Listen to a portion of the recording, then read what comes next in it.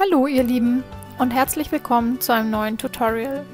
Heute zeige ich euch das neue Design der Franken Online Webseite sowie den neuen Webreader. Ganz oben finde ich nun die wichtigsten Buttons. Mein Konto, Logout, Hilfe und der neue Online Reader. Unter dem Header sind dann der Menü-Button sowie der Sucheinstieg über die Medientypen verortet.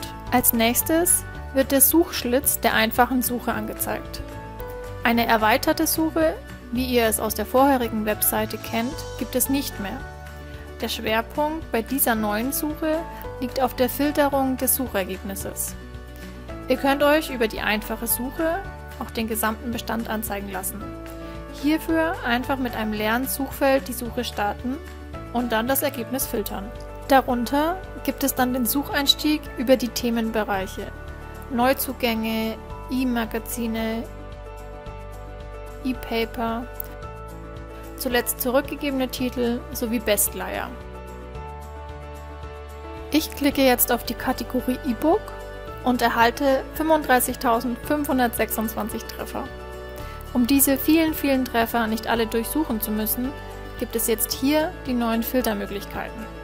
Dazu klicke ich rechts auf den Pfeil. Ich wähle jetzt nur die verfügbaren aus, die in diesem Jahr erschienen sind und in Deutsch sind. Ich klicke auf Anwenden und erhalte 140 Treffer. Ich entscheide mich für den Roman Broken von Don Winslow. Über die drei Punkte unten rechts kann ich diesen Titel auf meinen Merkzettel legen. Dieser ist nun auch synchron mit dem Merkzettel in der Franken Online App. Ich klicke auf Jetzt ausleihen und komme zur Detailansicht des Titels. Hier habe ich, wie auch schon vorher, eine Inhaltsangabe und die formalen Daten.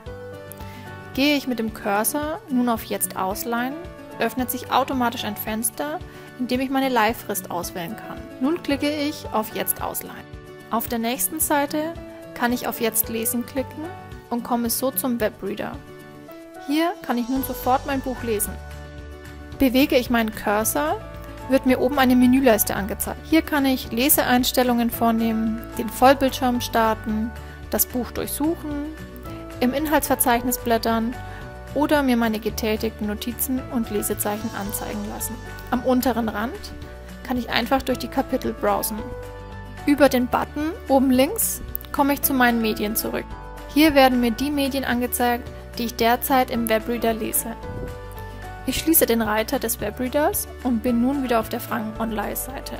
Klicke ich auf mein Konto, komme ich zu meiner Kontoansicht. Bei jedem ausgeliehenen Medium gibt es noch einen kleinen Button mit drei Punkten. Hierüber kann ich nach wie vor meine E-Books mit Adobe Digital Editions herunterladen. Oben rechts ist der Link zum Webreader. Klicke ich darauf, komme ich wieder zu meinen aufgeschlagenen Medien.